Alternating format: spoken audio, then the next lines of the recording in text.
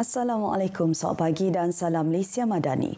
Bersama saya Lydia Yusrina Abdul Ilyas dalam berita bagi Sarawak, edisi Khamis 11 April 2024.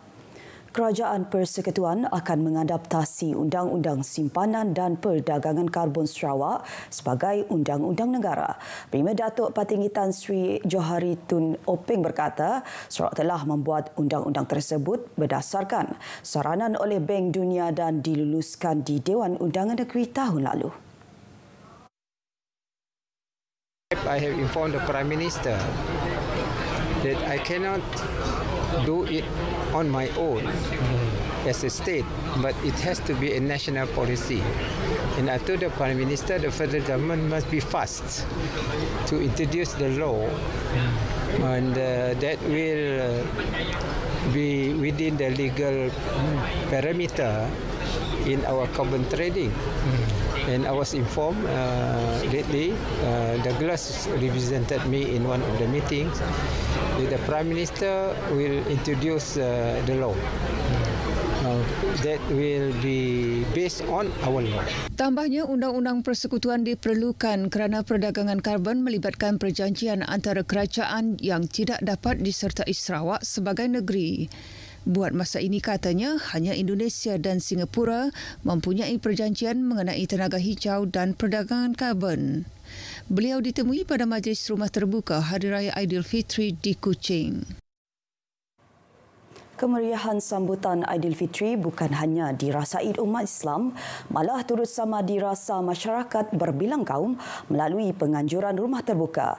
Pengunjung yang hadir ke rumah terbuka yang di Pertuan Negeri Tun Perhistri Wan Junaidi Tuanku Jaafar di Astana Negeri semalam menyifatkan amalan rumah terbuka satu bentuk pelaburan dalam mengukuhkan perpaduan sedia ada. Saya cukup eh, senang hati melihat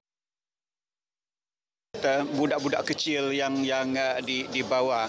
Uh, di mana dari kecil uh, begitu mereka juga mengenali arti um, apa rumah terbuka. Kita sangat bergembira kerana semua rakyat jelata tanpa mengira latar belakang.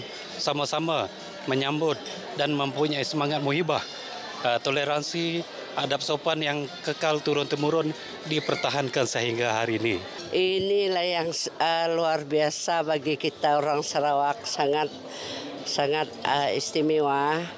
Uh, tidak pilih bangsa, tidak pilih agama. Kita sama-sama merayakan Sementara itu, bagi barisan pemimpin di Sarawak, kemeriahan sambutan Aidilfitri di negeri ini mampu terus dinikmati hasil perpaduan rakyatnya. Kira ada Cina, Dayak, Melayu, semuanya datang berkunjung, datang makan bersama-sama. Jadi ini menunjukkan satu perpaduan yang sangat kuat di Sarawak. Then to Sarawak, you see the crowd, uh, we are very harmony. Uh, we are harmony together to sit down together. That's why we have no issue with any problem. Puas saja nampak kita berpuak-puak di situ. Ialah kelebihan kita di negeri Sarawak.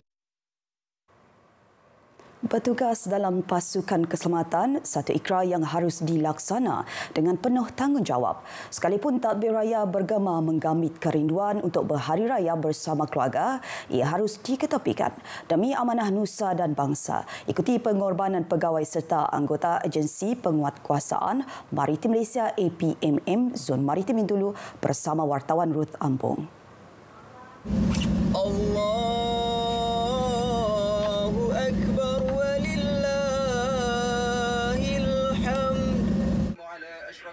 Dalam memperkasakan kesiapsiagaan pengoperasian di perairan negara.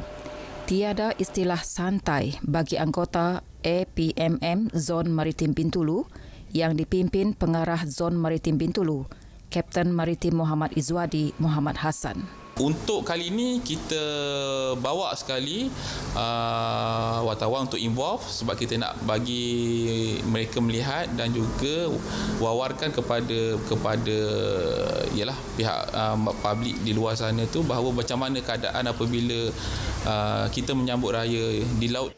Ops pagar laut yang dilancarkan 18 Mac lepas. Salah satu operasi yang dijalankan untuk mengawal dan melindungi negara daripada pelbagai ancaman jenayah sepanjang Ramadan dan Syawal. Modus operandi pagar laut ni lebih kepada smuggle uh, dan juga apa sahaja jenayah yang melibatkan kontraben uh, dan juga kes-kes yang melibatkan aktiviti perikanan dan sebagainya lah. Bagi pegawai memerintah KM Tabah, Lieutenant Komander Maritim Rodi Beji, beliau terharu dengan semangat juang rakan sekerja yang tetap bertugas di Samudra Biru sekalipun terpaksa berjauhan dari keluarga terutamanya semasa Ramadan dan sambutan Hari Raya. Saya bersyukur kerana dapat bekerja bersama individu yang penuh kesetiaan dan berdedikasi.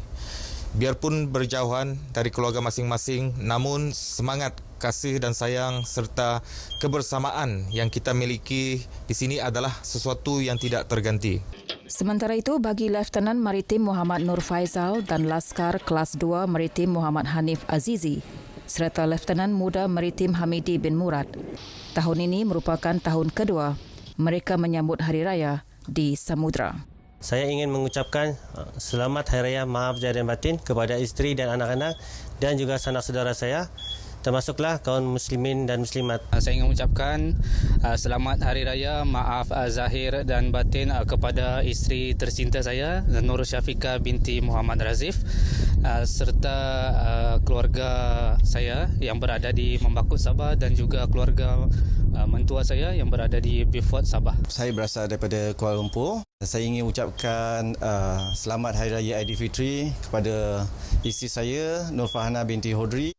Prosedur operasi standard maritim Malaysia adalah bertugas 24 jam 7 hari seminggu yang bermaksud setiap hari akan ada kapal maritim Malaysia menjaga perairan negara. Itulah tanggungjawab yang mereka perlu galas.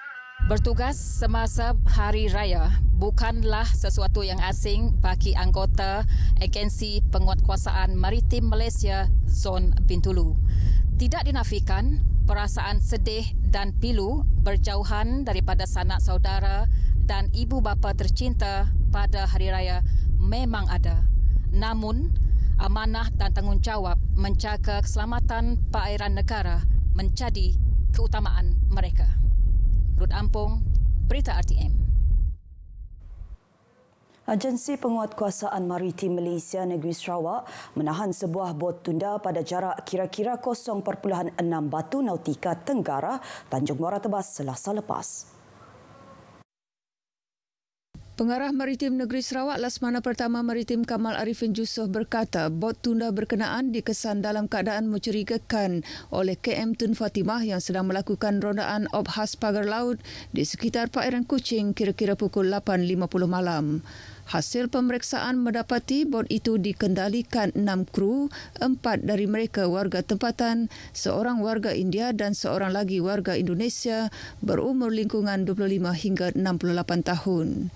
Kesemua mereka mempunyai dokumen pengenalan diri yang sah bagaimanapun mereka gagal mengemukakan lesen perkapalan dalam negeri yang sah.